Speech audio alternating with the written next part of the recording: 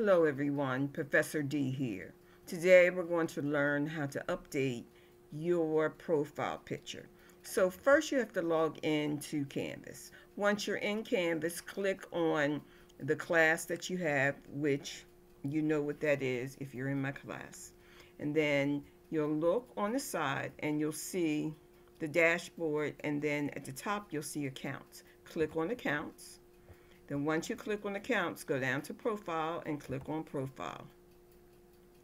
Once you're in profile, then you can click on this pencil command and then upload your picture to Canvas. So if you click upload a picture, and my um, computer takes a long time, so I'm not going to uh, do this right now, but I just want to, you just say upload picture, you wait for it to upload, and then you okay it or you can take a picture.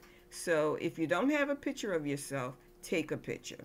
So I'm just using upload a picture and take a picture. I do not want to see an avatar for your picture. I want to see your real face. So if you want full credit, make sure you're showing your full face. Thank you all, and I'll see you all in the next lesson.